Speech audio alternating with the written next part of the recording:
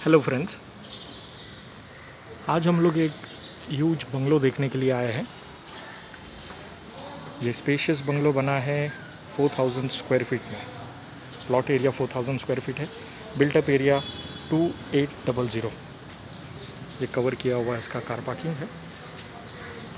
काफ़ी पेड़ वगैरह लगा कर यहाँ पर गार्डन बनाया हुआ है। सामने का जो एरिया आप देख रहे हो, इसे आप पार्किंग बना सकते हो। टाइल्स और थोड़े एक्सटेंड करके, या तो इसे गार्डन भी पूरा, पूरी तरीके से बना सकते हो। ये सारा एरिया भी ओपन छोड़ा हुआ है, जहाँ पर कुछ पेड़ लगाए हुए हैं।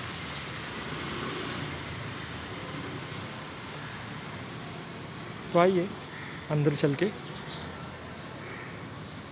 ये बंगलो देख लेते हैं कि अंदर से कैसा नज़र आता है।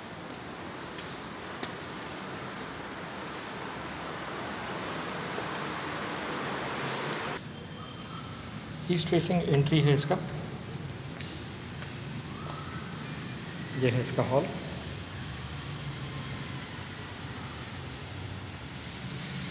इस स्टेयर के ऊपर की तरफ़ जाती है, जहाँ पर दो और बेडरूम्स है। जल्दी जाएँगे हम वहाँ पर। तो लेफ़्ट साइड से शुरू करते हैं। यहाँ पर एक छोटा सा स्टोर रूम दिया हुआ है, जो इस वक्त पूरी तरह से एम्प्टी है।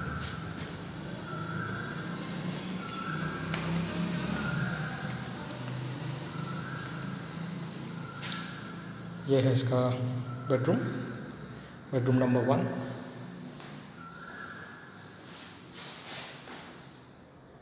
ऊपर की तरफ़ लॉफ्ट दिया हुआ है एक्स्ट्रा स्टोरेज के लिए।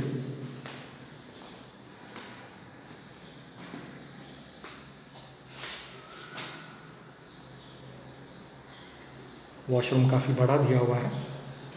यहाँ पर ये बेदिंग टब है। पीछे की तरफ़ इंडियन टॉयलेट हर वॉशरूम के अंदर एक गीज़र लगाया हुआ है।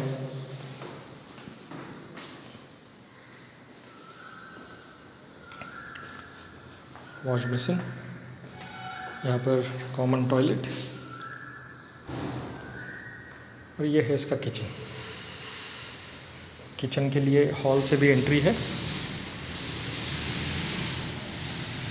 ये हॉल से आप आते हो तो हॉल से भी एंट्री है यहाँ पर।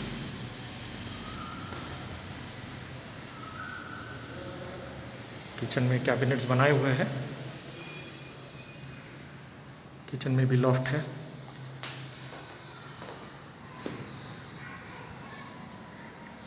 ये पीछे का garden area. Extra water tank है यहाँ पर।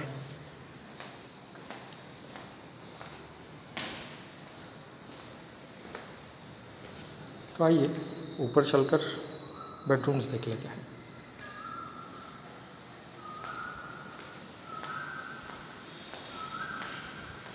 Height almost 12 square feet 12 feet safety door दिया हुआ है। ऊपर की तरफ़ दो टेरेस है, एक बड़ा टेरेस है, एक छोटा टेरेस है। तो जैसे ही आप फ़र्स्ट फ्लोर पर आते हैं, यहाँ पर थोड़ा ओपन स्पेस छोड़ा है।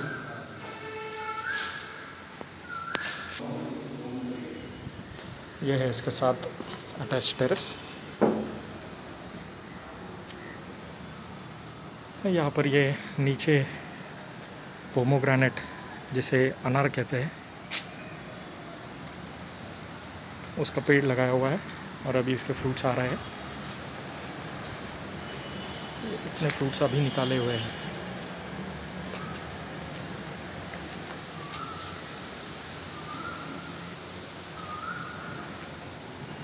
यहाँ पर भी टेरेस के लिए सेफ्टी डोर है लगाया हुआ।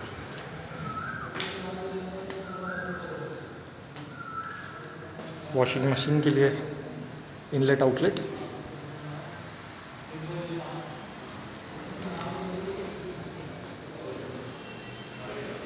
ये है bedroom number two with attach toilet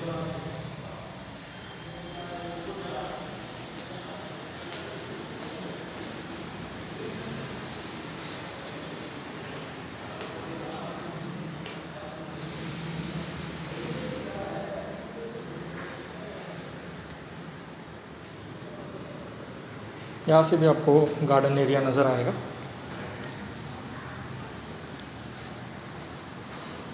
maximum यहाँ पर नारियल के पेड़ लगाए हुए हैं। और ये back area extra water tank है यहाँ पर फिटेड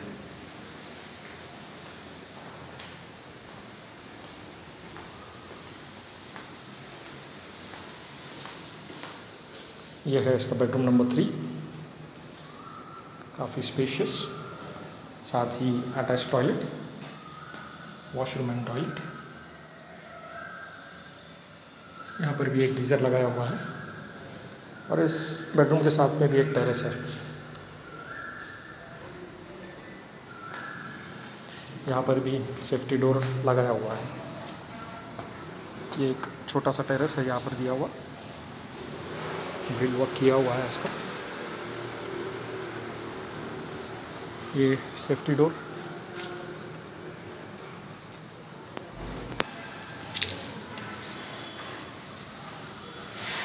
ये पूरा गार्डन एरिया है।